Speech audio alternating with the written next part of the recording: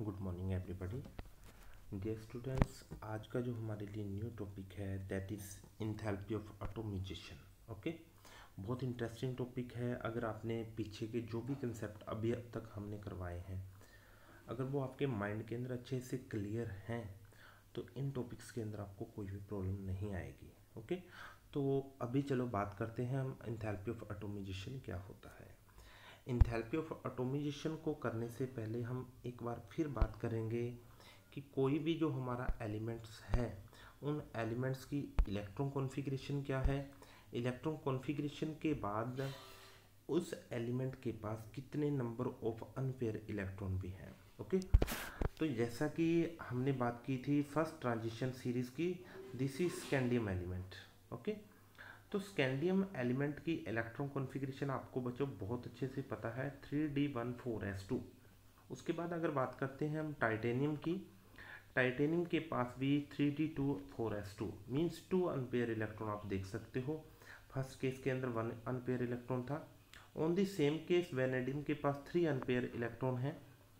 और क्रोमियम के अंदर आप देख सकते हो फाइव अनपेयर इलेक्ट्रॉन यहाँ पे और सिक्स यहाँ पे है। आप मैग्नीज को चेक कर सकते हो। मैग्नीज के पास फाइव अनपेयर इलेक्ट्रॉन यहाँ पे हैं और फोर एस टू यहाँ पे इलेक्ट्रॉन पेयरिंग के अंदर है। क्लियर तो आपने देखा इलेक्ट्रॉन कॉन्फ़िगरेशन को बहुत अच्छे से क्लियर कर चुके हो।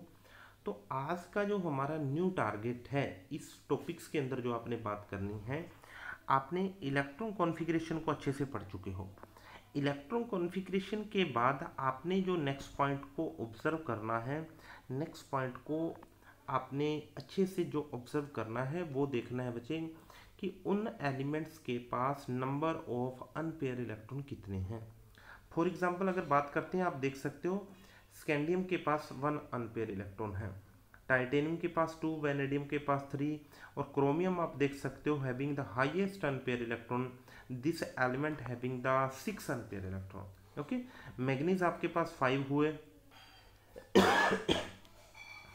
और आयरन आपके पास फोर अनपेयर इलेक्ट्रॉन है, क्वाल्ट के पास आप देख सकते हो यहाँ पे तीन अनपेयर इलेक्ट्रॉन है, निकल टू है और यहाँ पे कॉपर के पास सिर्फ़ वन अनपेयर इलेक्ट्रॉन है और जिंक के पास कोई भी अनपेयर इलेक्ट्रॉन नहीं है, ओके?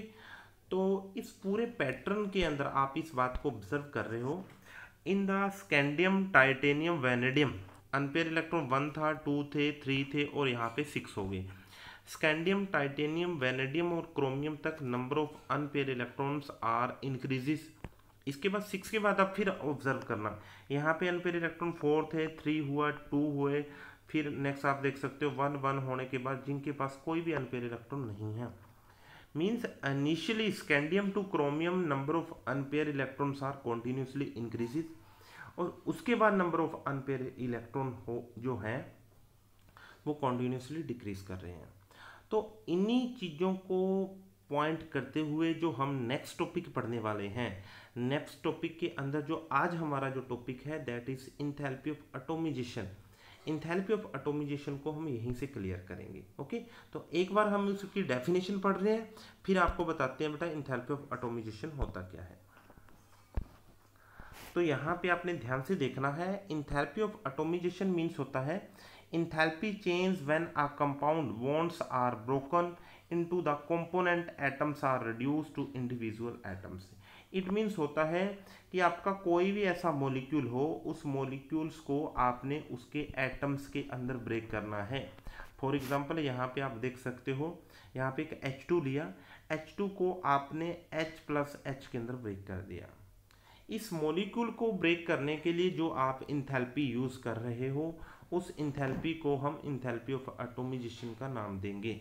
क्लियर और मोस्ट इंपॉर्टेंट जो पॉइंट है, इसके अंदर enthalpy of atomisation is depend upon the number of unpaired electron ध्यान रहे बेटा enthalpy of atomisation is depend upon the number of unpaired electrons clear it means जिस एलिमेंट के पास नंबर ऑफ़ अनपेयर इलेक्ट्रॉन ज़्यादा होंगे, उस एलिमेंट की इंथैल्पी ऑफ़ एटोमिजेशन भी ज़्यादा होगी। तो आप पूरे पैटर्न के अंदर अगर बात को, उस पॉइंट्स को हम दोबारा क्लियर करते हैं तो आप देख सकते हो इस कंप्लीट पैटर्न के अंदर जो आपका, जो आपकी इंथैल्पी ऑफ़ एटोमाइजेशन होगी, स्कैंडियम, टाइटेनियम, वेनेडियम और क्रोमियम तक इंक्रीज होगी। उसके बाद नंबर ऑफ़ अनपेयर इलेक्ट्रॉन है वो कॉन्टिन्यूसली डिक्रीज कर रहे हैं तो इंथैल्पी ऑफ़ एटोमाइजेशन आपकी डिक्रीज कर जाएगी। तो यहाँ से आप एक पॉइंट जो मोस्ट इंपॉर्टेंट पॉइंट है क्रोमियम की इंथैल्पी ऑफ़ एटोमाइजेशन सबसे ज़्यादा हाईएस्ट होगी। Because this element having the highest number of unpaired electron clear अब इसके बाद हम बात करते हैं जो इम्पोर्टेंट पॉइंट है, कि अब यहाँ पे लिखा हुआ है कि for three D element three D जो सीरीज़ है, उसमें क्रोमियम के पास नंबर ऑफ़ अनपेयर इलेक्ट्रॉन ज़्यादा होने के कारण इस एलिमेंट की इंथैल्पी ऑफ़ एटोमाइजेशन मैक्सिमम रहेगी। क्लियर इस ग्राफ को भी आप बच्चे ध्यान से देख सकते हैं। जो भी हमने अभी बात की है कि इंथैल्पी ऑफ़ एटोमाइजेशन शुरू के अंदर इंक्रीज करती है, उसके बाद आपकी इंथैल्पी ऑफ़ एटोमाइजेशन डिक्रीज कर जाती है। क्लियर अब हम जो नेक्स्ट पॉइंट जो इम्पोर्टेंट पॉइंट है, वो बात करने वाले हैं यहाँ पे। जी। अब जो हमारा नेक्स्ट पॉइंट है दैट इज़ मेल्टिंग पॉइंट्स अगर आपके माइंड के अंदर बेटा मेल्टिंग पॉइंट अच्छे एंथैल्पी ऑफ़ एटोमिजेशन क्लियर है तो इंथैल्पी ऑफ़ एटोमिजेशन से आप मेल्टिंग पॉइंट को बहुत अच्छे से क्लियर कर सकते हो। बिकॉज़ ध्यान रख, रखना है बच्चे, जिस एलिमेंट की इंथैल्पी ऑफ़ एटोमिजेशन ज़्यादा होगी, उस एलिमेंट का मेल्टिंग पॉइंट भी ज़्यादा होगा। I repeat again and melting point is completely depend upon the enthalpy of atomization means जिस एलिमेंट की इंथैल्पी ऑफ़ एटोमिजेशन ज़्यादा है, उस एलिमेंट का मेल्टिंग पॉइंट भी ज़्यादा होगा। क्लियर अब छोटी सी बात हम करते हैं। कुछ एलिमेंट ऐसे हैं। यहाँ पे एक बार आपने दोबारा बात करनी है। आपने क्लियर किया कि chromium having the highest melting point because chromium having the highest number of unpaired electron but यहाँ पे कुछ अनएक्सपेक्टेड जो एग्ज़ाम्पल मिलेंगे हमारे को। Zinc having the lowest enthalpy of atomisation ध्यान रखना बेटा क्रोमियम की इंथैल्पी ऑफ़ एटोमिजेशन सबसे ज़्यादा थी और जिंक की इंथैल्पी ऑफ़ एटोमिजेशन सबसे कम होगी because it this element does not having the any unpaired electron clear इसके बाद ध्यान रखना है जो हमारे पास जो अनएक्सपेक्टेड एग्ज़ाम्पल मिला अनएक्सपेक्टेड मोलिक्यू एलिमेंट मिला, जिसकी इंथैल्पी ऑफ़ एटोमिजेशन बहुत ही ज़्यादा कम है। दिस इज़ मैग्नीस तो मैग्नीस आप चेक कीजिए मैग्नीस के पास फाइव अनपेयर इलेक्ट्रॉन है। अकॉर्डिंग टू अवर कंसेप्ट हमारे कंसेप्ट के अकॉर्डिंग दिस मोलिक्यूल के पास इंथैल्पी ऑफ़ एटोमिजेशन काफ़ी ज़्यादा होनी चाहिए थी। बट एक्चुअल में जब इसकी बात हुई, मैग्नीज के पास इंथैल्पी ऑफ़ एटोमिजेशन इतना नहीं होता जितना हम ऑब्ज़र्व करते हैं। बिकॉज़ ध्यान रखना है बेटा, manganese having the half half filled stable electron configuration half filled stable electron configuration के कारण this molecule does not form the bond with another elements ध्यान रखना आई रिपीट अगेन मैग्नीज की स्टेबल इलेक्ट्रॉन कॉन्फ़िगरेशन होने के कारण manganese अपने किसी भी दूसरे एलिमेंट के साथ बॉन्डिंग नहीं करता ओके इस कारण मैग्नीज के पास एक स्टेबल इलेक्ट्रॉन कॉन्फ़िगरेशन है। स्टेबल इलेक्ट्रॉन कॉन्फ़िगरेशन के कारण ये दूसरे एलिमेंट के साथ बॉन्डिंग नहीं करेगा और जब बॉन्डिंग नहीं करेगा तो इट मीन्स इसके पास इंथैल्पी ऑफ़ एटोमिजेशन भी कम होगी। क्लियर तो इस पॉइंट को बेटा आपने ज़रूर ध्यान रखना है कि मैग्नीज हमारे according highest melt highest enthalpy of atomization होना चाहिए था बट इसका पास बहुत ही कम इंथैल्पी ऑफ़ एटोमिजेशन होता है। क्लियर अब आ जाइए बेटा। जो भी कंसेप्ट हमने इंथैल्पी ऑफ़ एटोमिजेशन के लिए बोले, वही कंप्लीटली कंसेप्ट मेल्टिंग और बॉइलिंग पॉइंट के लिए रहेंगे। Melting and boiling points is completely depend upon the enthalpy of atomization means it is depend upon the number of the unpair electrons if a element having the more number of unpaired electron, that element having the high melting and boiling points. Clear? तो यहाँ पे हम बात कर रहे हैं कुछ।